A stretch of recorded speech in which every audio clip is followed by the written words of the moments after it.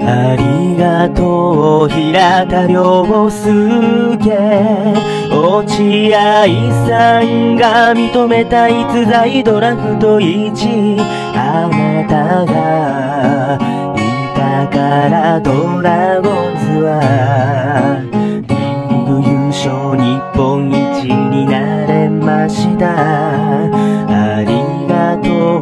平田良介夏の甲子園で一試合三本塁打。プロでもアンダを量産サイクルヒート。ドラゴンズの右の強打者平田良介。ピシエド不調でファンがやじった時。